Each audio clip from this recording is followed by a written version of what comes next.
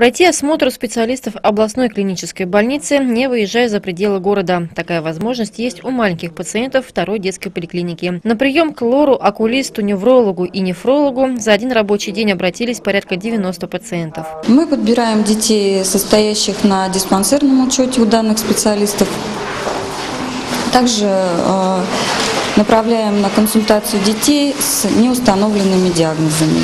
Большая помощь нам оказывается э, со стороны областной клинической больницы, потому что в нашем городе дефицит кадров, и мы всегда рады, когда нам оказывают такую помощь. Пятилетняя Полина Змазнева наблюдается у невролога. Причиной стал неожиданный приступ. Сейчас проходят регулярные осмотры и обследования, чтобы выяснить причину и пройти необходимое лечение. В Кемерово не ездили, у нас был приступ один раз, а получилась возможность, что нам туда не ехать, нас записали сюда. Ну, это очень удобно, наверное. Конечно. Выездные приемы в детской поликлинике – необходима мера как для кемеровских врачей, у которых под контролем здоровье детей всей области, так и для самих пациентов. Не секрет, что узких специалистов в поликлиниках не хватает. Особенно востребован врач-нефролог, которого на сегодняшний день в городе вообще нет. Такие выездные приемы проходят во второй поликлинике два раза в год. Следующий выезд в Ленинск-Кузнецкий запланирован на осень. Мария Силантьева, Павел Желтиков, Ленинск ТВ.